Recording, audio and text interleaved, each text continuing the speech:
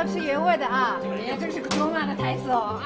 比如说今年的话，疫情的话影响大的很，不然的话每天都有一百多个、两百多个游客。然后我们家的话是就是一直坚持到现在，坚持结果也来了，然后现在的生意越来越好，老百姓生活越来越好。